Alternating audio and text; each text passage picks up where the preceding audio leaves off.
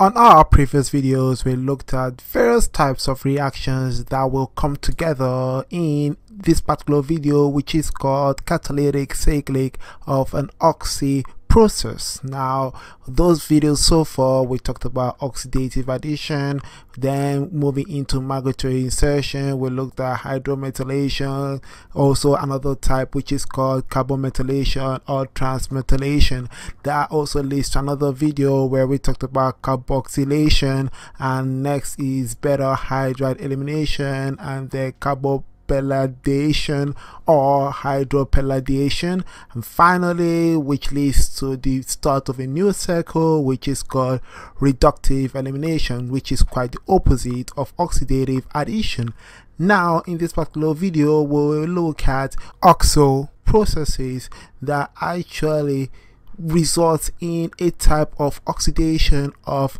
an unsaturated I'll say hydrocarbon. In one case we can look at alkene or the type of alkynes and what we're going to do is to be able to transform these into a high level aldehyde which is actually a mix of aldehydes either let's say one position in one particular region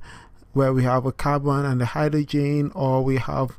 two regions there and we have it right there in the middle. So we can have a mix of those. So that being said, we're going to see how we can perform this in the presence of a particular compound which is called carbon monoxide where we actually result in a type of reaction called I would say carbonylation. So let's look at the focus reaction in this particular catalytic cycle where we're going to focus on OXO process which we're going to show the mechanism for this particular reaction which is in this box right here. Sometimes you might be given a reaction like this on a test or in any particular articles and you'll be asked to produce a catalytic cycle that shows the mechanism that goes from a specific alkene which we're going to identify here where by numbering we have one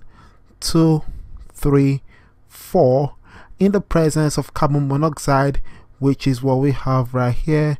And this carbon monoxide will be somehow added to this particular alkene in the presence of these metals right here. Either ROH or we have CO which is cobalt. Now if you look at these metals on the periodic table you notice they are in the same groups which is quite fascinating. And we also have hydrogen gas present in this particular reaction. And this actually leads to the formation of two products that are side from each other. We notice here that by numbering we have carbon 1 2 3 4 and here we're going to still maintain the number of carbons carbon 1 2 3 4 relative to this particular reactant right there. And what we notice is that due to the purpose here we see that this alkene here will undergo some kind of here due to the presence of hydrogen we might say that the hydrogen will be subjected to reductive elimination or and hydrometallation and it's quite fascinating that that is going to happen too this particular reactant right here and this reactant will also be subjected to a type of reaction called carbonylation which I'll just represent as C. And what you see here is that we are going to introduce a carbonyl group in this particular compound that results in the formation of one product where this particular carbonyl is attached to carbon 1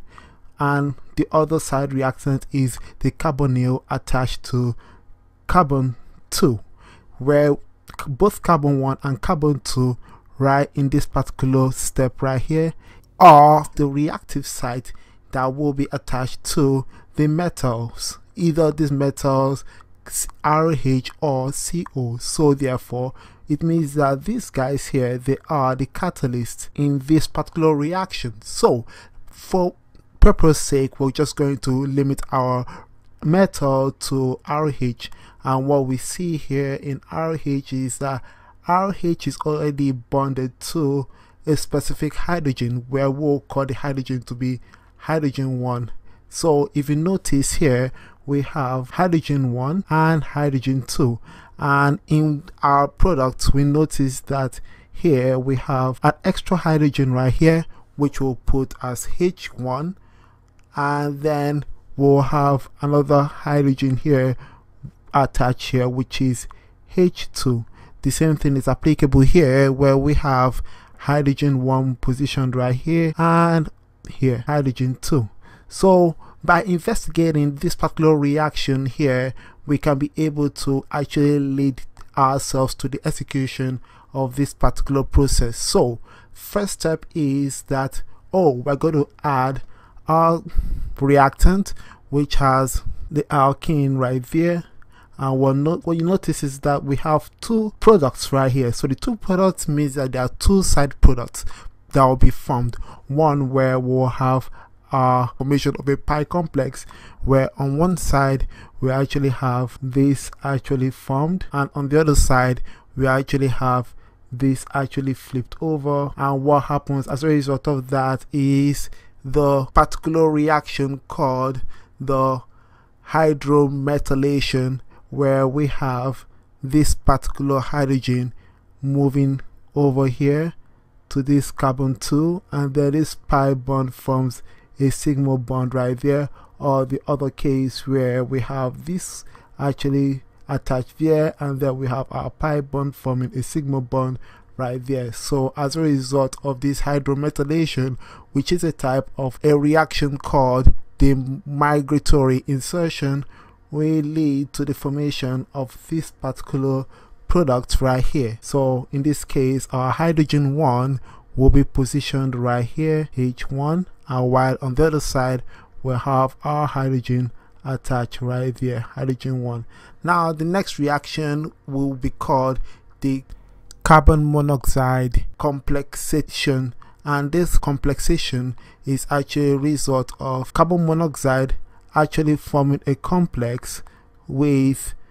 this particular alkyl metal that is formed right here. so what happens is due to the presence of carbon monoxide what happens is that carbon monoxide actually is coordinated with this particular metal and this results in this particular product right here on the next step. So now that's out of the way our next one is a second migratory insertion. In this case is going to be called a carbonylation occurs when our bond here actually cleaves and migrates over to this carbon and then this particular